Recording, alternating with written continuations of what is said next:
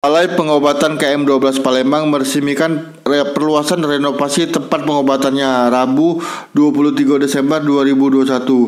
Hadir dalam peresmian tersebut Pembimas Buddha Kemenak Sumsel Wiswadas, Ketua Walubi Sumsel Ciarun, Ketua Permabudi Sumsel Izen, Ketua Matakit Sumsel Sakim Homandala Budi Setiawan, Ketua Paguyuban Ansi Sumsel Sukarta dan tamu undangan lainnya.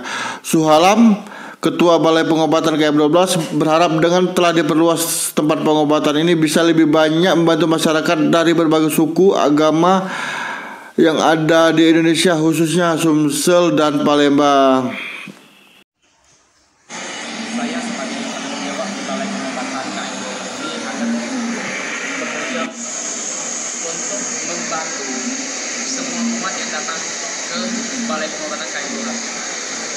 Dan saya sebagai penanggung jawab di sini berharap Balai Pengobatan kita ini makin ke depan makin maju.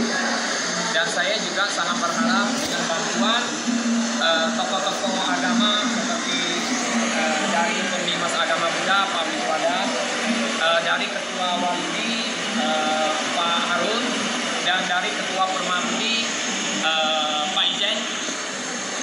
Mereka sangat membantu saya. Mereka sangat mensupport saya. Makanya perluasan balai pengobatan kita tahun ini bisa lebih baik lagi. Dan saya sebagai penanggung jawab di sini berharap sangat berharap ke depan bisa makin banyak lagi orang-orang yang membutuhkan bantuan baik dari masyarakat dari agama apa pun akan saya bantu semaksimal mungkin. Dan sebagai eh, tanda terima kasih saya saya mewakilkan kepada Kementerian Agama Buddha pembimas kami Pak Wiswadas eh, dengan eh, dengan penghargaan ini maka ke depan saya akan lebih semangat lagi untuk bekerja bekerja bekerja sesuai dengan eh, slogan dari Pak Jokowi. Jadi supaya kita bisa menyatukan semua umat beragama yang datang ke balai pengobatan saya ini dan saya akan satukan dan saya akan membentuk satu eh, kerukunan yang pernah kami eh, jalankan itu tanggal 7 Desember di Geria Agung Moderasi Beragama. Dan itu akan kami eh, tingkatkan lagi ke depan supaya bisa makin baik lagi. Itu aja harapan saya.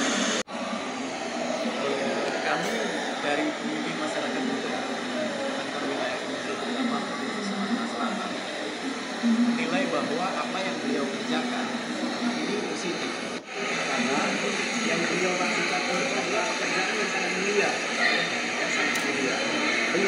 tidak dari agama apa?